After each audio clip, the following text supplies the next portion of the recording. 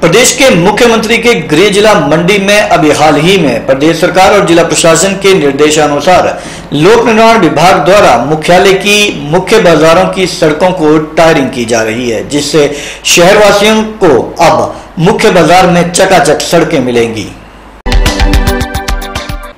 अभी हाल ही में प्रदेश सरकार और जिला प्रशासन के निर्देशानुसार लोक निर्माण विभाग के द्वारा मंडी जिला मुख्यालय पर मुख्य बाजारों में स्थित सड़कों की टायरिंग की गई है, जिससे बाहर के मुख्य बाजारों की सड़कें चकाचक हो गई हैं। बाहर के स्थानीय लोगों का कहना है कि बाहर की सड़कों की जो टायरिंग की गई है, वो काफ़ी अच्छी की गई है और पहली बार काफ़ी समय के बाद बाहर की सड़कों की इस प्रकार की टायरिंग की गई है उन्होंने कहा कि बाहर के साथ लगती अन्य सड़कों की टायरिंग भी इस प्रकार की ही होनी चाहिए मंडी बाहर के बीचों बीच सड़कों की टायरिंग होने के बाद यातायात व्यवस्था के मद्देनजर बाहर की सड़कों पर जेब्रा क्रॉसिंग भी की जा रही है ताकि बाहर में पैदल चलने वाले लोगों, बुज़ुर्गों, महिलाओं और बच्चों को सड़क क्रॉस करते समय किसी प्रकार की परेशानी का सामना न करना पड़े। स्थानीय लोगों के अनुसार जबरा क्रॉसिंग के बनने से लोगों को सड़क क्रॉस करते समय किसी प्रकार की परेशानी नहीं होती है।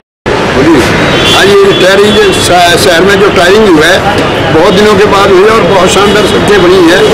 बहुत उत्तम क्वालिटी की बन, सड़क बनी हुई है। इसमें जो मटेरियल लगाया गया, वो बहुत सुंदर लगाया गया और बहुत सालों के बाद हमें बड़ी खुशी हुई इसकी। और लोगों के लिए बड़ी सुविधा हो गई इसमें चलने के लिए, सफ़र करने के लिए गाड़ी वालों को, स्कूटर वालों को। इसमें जंप लगते थे वो जंप खत्म हो गया। अब बड़ी शानदार है।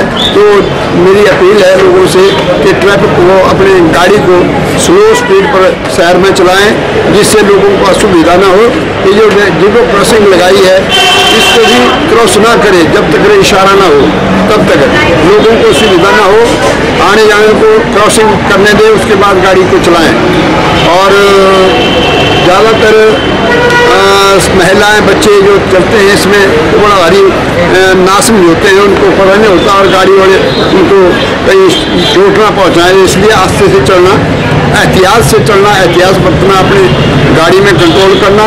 आजकल वैसे मंडी में काफ़ी विकास का कार्य हो रहा है, जिसके अंतर्गत ये आपकी टायरिंग जो हुई सड़कों की, ये पहली बार हुई है इतनी इतनी सुथरी साफ़ सुथरी और बड़ी अच्छी टायरिंग हुई है, जिससे कि आने जाने वाले को, सीनियर सिटीजन को ही, बल्कि सबके लिए ये सुविधाजनक एक साधन बन गया है। जिसके लिए इसके ऑर्गेनाइजर जो हैं, जिन्होंने इसको बनवाया वो बड़े इसके पात्र है, बधाई के पात्र हैं।